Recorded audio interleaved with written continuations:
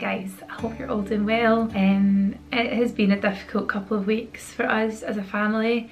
Um, if any of you follow me over on Instagram, then you'll know that we very, very sadly lost our little dog. She's been there through everything. She's been there through three house moves. She's been there through two babies being born. She has been there at our wedding. It has been so, so, so difficult. And I've tried to say this a few times without getting upset, but it's just really hard. Um, and you know that anything that I put on my channel, I want to be 100% real with you all. And I just don't think that I could ever fake it. It has been probably the toughest time um, that we've all been through. It's been a massive, massive change in the dynamics of our family. Our home doesn't feel the same. Um, she brought such character to our house and like a real sense of security and we really, really miss that. We miss her and we just feel very, very grateful that we've had such a full life with her. Like she's brought us so many happy memories um, and yeah, I just feel like it was better to have loved and lost her than to never have loved her at all. And that is such a true saying. They're such massive parts of your family dogs and it's been really, really testing for us as a family um, to kind of see everything that went on with her. We really tried our most at the end um, and I know a lot of you have wanted to know what happened. So she had kidney failure and there was just, as much as I was in denial, there was no saving her. We had her in 24 hour care we had her getting every scan, every medication. She just couldn't eat, she couldn't walk, she couldn't go to the toilet. Just, it was sad and we had to do the kindest thing and have her put to sleep because she was really suffering at the end. However, right up until that very last week, she was amazing and we are so happy to have had her in our lives. And I just couldn't do this video without acknowledging that because she has made us learn to love in a different way than what you do with your kids. It's just a different kind of, I don't know, it's just a different feeling that you, you never have, especially if you love dogs and you have dogs, you'll know exactly what I mean. So with that being said, she's definitely left a hole in our home and we just don't feel as a family, we just don't feel complete without a wee dog.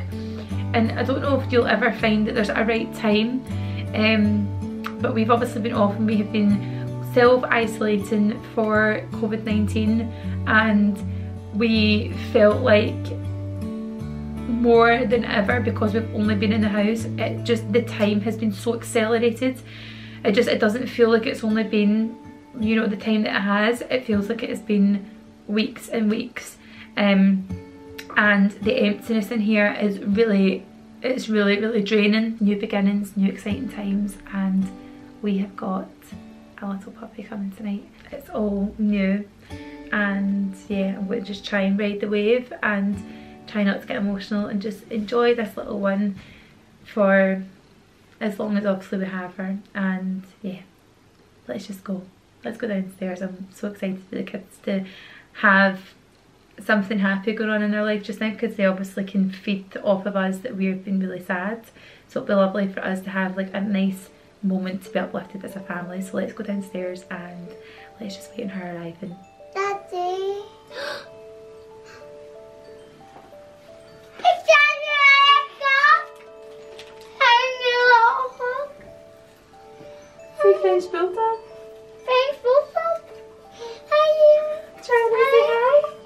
Snacks are like. Is it big ghetto?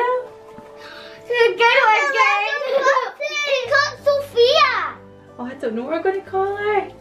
We've got lots of bee names. Do you like her? Leona. Charlie's granny's I know granny. Charlie was like, Charlie, this is your doggy? It's you say? everybody's Her dog. doggy. It's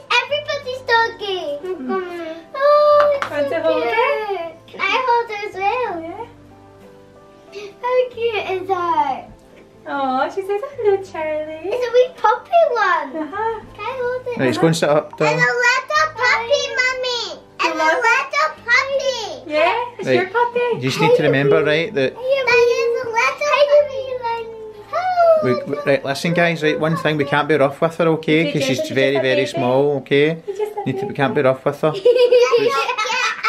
Little puppy, get our biscuit. Yeah, oh, That's a yeah. good Well. Charlie, see, because the puppy's so small, she can't get biscuits yet, okay? Okay. Okay, pal? But when she can get biscuits, we can give her one.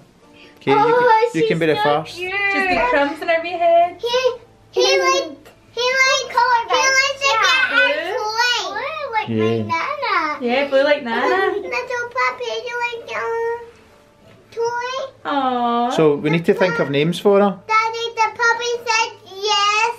Puppy says yeah. Puppy said yes. Is she cute, Charlie? She's Um, nice and soft, isn't she? Give her a wee kiss. mm, no. Give her a wee kiss. eh? Give her a wee kiss. Mm, I kissed them. I kissed that one. Kiss. Give her a kiss, Charlie. Mm, I love you, Charlie.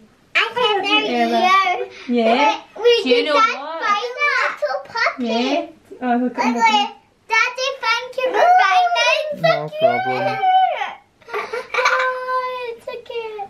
It's a little puppy, mommy. It's black, um, Daddy, it's thank you for our puppy. You're welcome, and pal. blonde. It's black and I- You're very welcome. We just need to take very good care of her, okay? Okay, She's so From delicate. when she's a puppy right until when she's old, just like Big Lola, alright? Because you never seen Lola when she was a puppy, didn't you there's a lot of a little puppy. But listen to mum, listen to mum, Charlie. See your little puppy, don't scratch, don't scratch, don't scratch, darling. I'm gonna See your take little- care of her every day Good she's so cute. But listen, see, see, I know she's very cute, but you need to be so careful with her because she's just got little bones. Look, she's so calm. But And oh, she's he's going a you guys. he's a little puppy. It's a wee girl, Charlie. She's a little girl. Hello, little puppy. we got biscuits. Want some water? I think got some water. It's looking Yeah, we'll need to get some water, that's a good idea. Darling? It says a dream. No, it's not a dream. Come on, darling. Oh, I see you. Oh, you're so cute. Let's see your wee face. place for-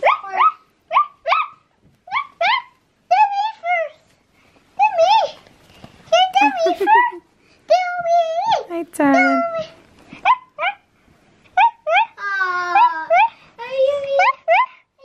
She likes it, so she's checking everywhere where everything is. So she knows where she lives. Come on, say.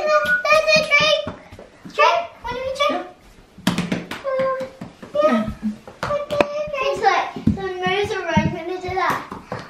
It's my puppy, mommy. Don't be frightened Ella, don't be frightened of her. Just give her Sure. loads of affection. Let's Make her see feel where welcome. everything is. Yeah. Oh, give her a wee cuddle. That's it. That's it, darling. Good girl. I like kissing lips. Come on then, darling. Go on, where's your drink? Look. Drinking that. Good girl. Do you have a wee drink? He's a good girl. You hear like Oh, how cute is she? Dinner, pal. Got a wee fat belly. so the cute. little puppy ready dinner. Hey, you.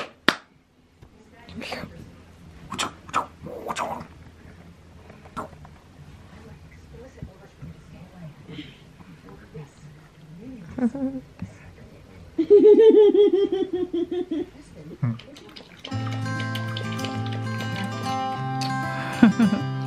Good morning, gorgeous. You okay? Where are the kids? Where are the kids?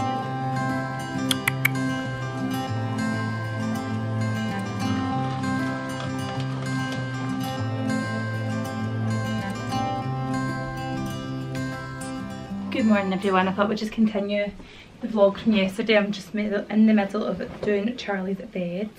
I had to strip it because it's a weekend and we like to try and get the beds done so I'm just going to put this on but last night our little pup did so well. I took her up maybe like every two hours or something to the toilet so she never really got the chance to pee herself because I was just constantly taking her out but she slept in her room last night um, and she did really really well. I thought she would have been whining and obviously missing the company of the other pups and her mum and she was actually brand new. Usually we would normally put like a clock or something that's got like the ticking sound so it sounds like a heartbeat under their bed but we never did that because she was so settled so just hoping that that's going to continue.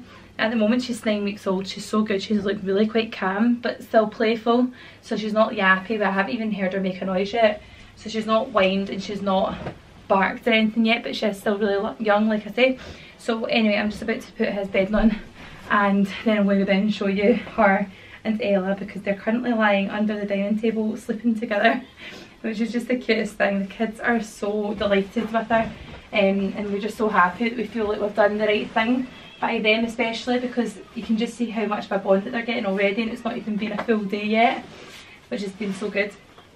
But yeah, um, they're sleeping just now. She's been running about all day in the garden and she likes my plants and I've not even told you in this actually we've decided to call her Maggie so that's her name we've decided. Why is we wanted something old fashioned, I don't know, I just really love when dogs have got like old people names and I don't know if Maggie is like considered an older person's name but a lot of people I know that are called Maggie are older so um, I just really liked it. I like all the old names like Maggie and we liked, what's other names we liked?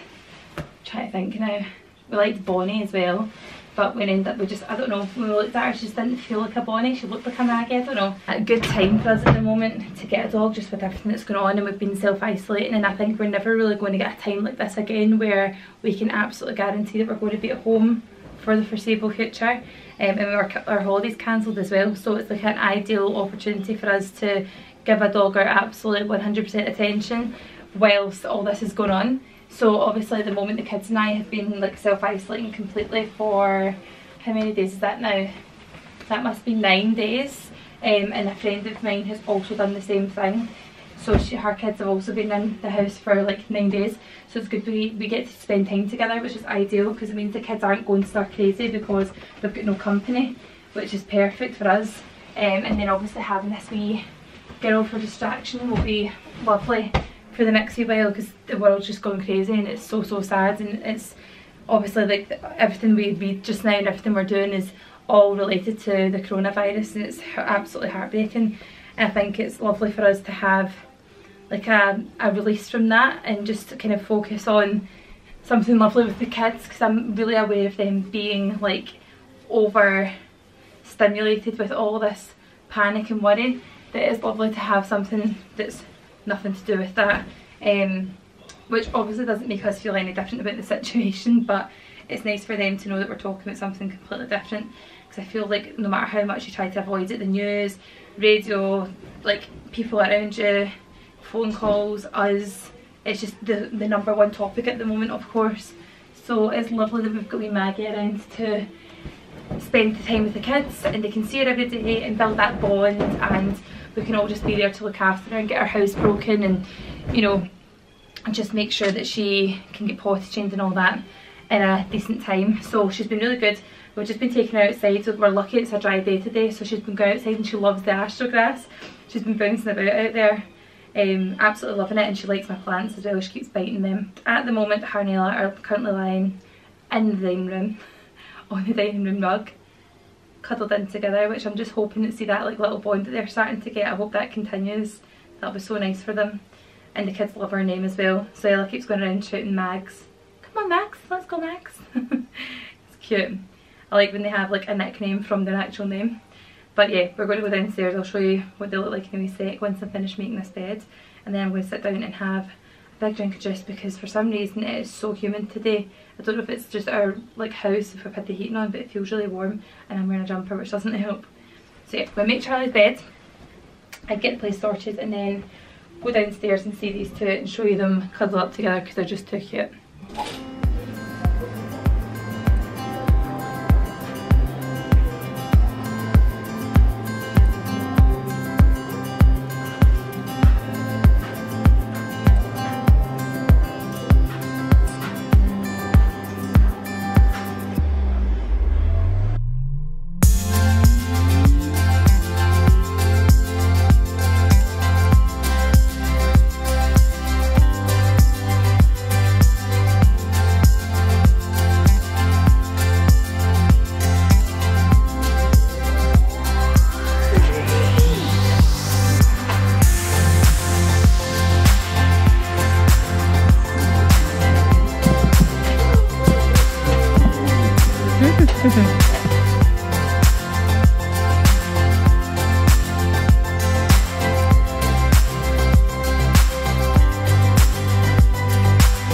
Why are you so nice?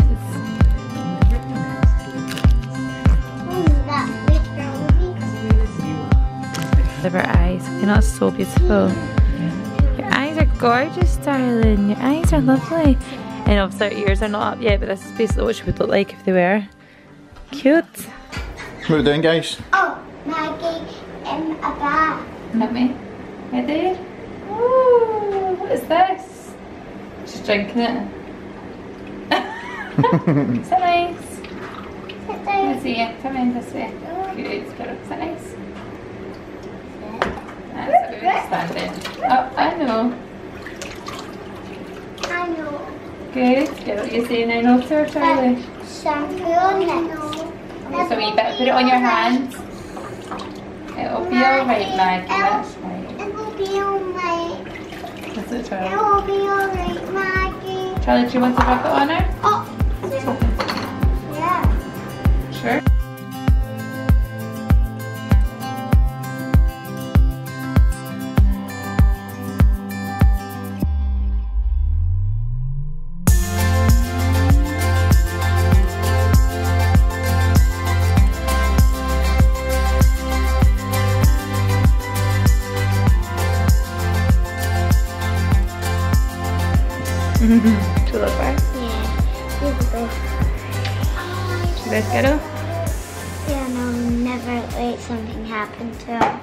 guys, so it's been all going here for the last couple of days as you can imagine with having a puppy and everything. I've tried to get some of the best clips of the last couple of days and put it all together so that you've got a little montage of little Maggie's first day at home or first weekend at home. So yeah, I don't think I've even spoke to you in this about what we named her. Her name is Maggie. Um, she's nine weeks old and she is a French Bulldog. So at the moment her ears are down. Everyone thinks on Instagram that she is like a British Bulldog, but she's not. She's a French Bulldog and her ears will go up in probably around three or four weeks we think. Yeah, she has settled in quite the thing. I've been up with her maybe around every hour on the first night and she was going out and doing wheeze and everything and she was so good. She did do an accident on her bed when we were holding her but apart from that she's only ever really gone in a corner and tried to pee and then we managed to grab her and put her outside so she has been really really good with the toilet training so far especially since she's in a new house and she wasn't toilet trained before. We were going to use puppy pads but to be honest it's actually just easier just to get her straight outside. Um, especially the fact we do have a back door. I know if people have a flat like you've got no other option to use puppy pads but we've never used them before. And we tried to with Lola when she had when we had her in our flat but because we had like a main entrance flat we just had stairs going up um, we were able to just put it outside quite easily the same way we would do in here to be honest. So it was just easier to put her out and we didn't manage to use puppy pads then either so we thought we'll just go with what we know. Take her out every hour on the first night and then on the second night which was last night I took her out maybe every two and a half. So at one point I was going to take her out at six o'clock but she was sound asleep and I thought you know I'll just leave her and if she pees in the tiles it's not a big deal. We can just go over it. But she was fine. I got back with her at seven and took her back out. So that was maybe what three and a half four hours that she had without going to the toilet which was amazing overnight and no leaks or anything. So yeah she's doing really well with that. She has had a couple of accidents in the house but nothing major.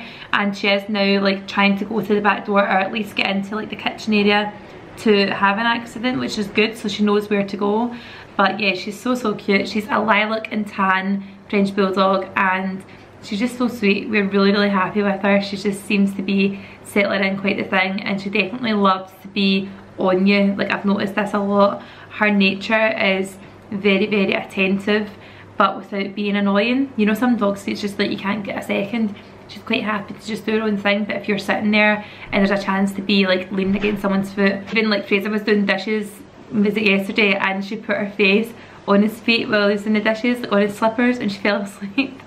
So she's really cute like that and sometimes she falls asleep upside down as well with her tongue out which is like the funniest thing. I'm noticing she's got quite a lot of like really funny quirks already. So yeah loving having her around. She's just been so cute. And I am currently making a banana loaf it's Mother's Day today and we've not really got anything in to have with a cup of tea. So I thought I'll just make a banana loaf because my bananas were honestly like they were ready to be thrown out. They were so so dark. Literally feels like summer.